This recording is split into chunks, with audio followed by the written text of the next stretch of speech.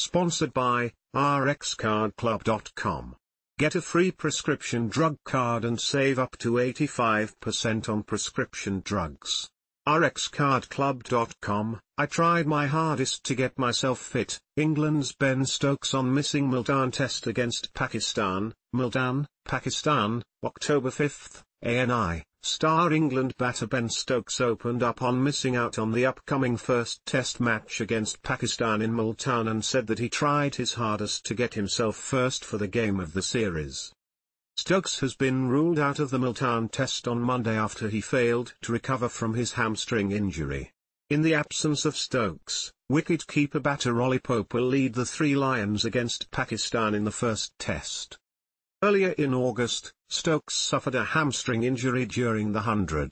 This ruled him out of England's triumph against Sri Lanka, 2-1, and it was Ollie Pope who led the side in the veteran's absence.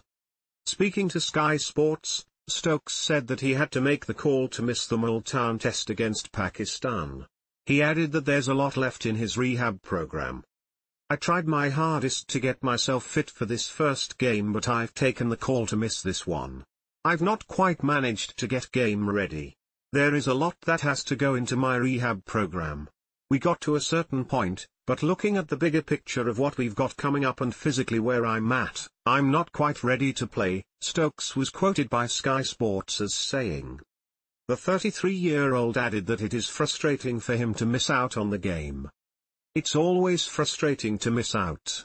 I've got some good things to focus on, so even though I'm not playing I've got a goal in mind.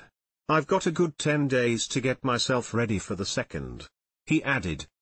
The first test will begin on October 7th in Multan, followed by the second test on October 15th, also in Multan.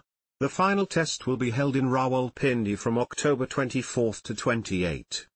England's playing 11 against Pakistan in the Multan test, Zak Crawley, Ben Duckett, Ollie Pope, C. Joe Root, Harry Brook, Jamie Smith, W.K., Chris Woakes, Gus Atkinson, Brydon Carse, Jack Leach, Shoaib Bashir,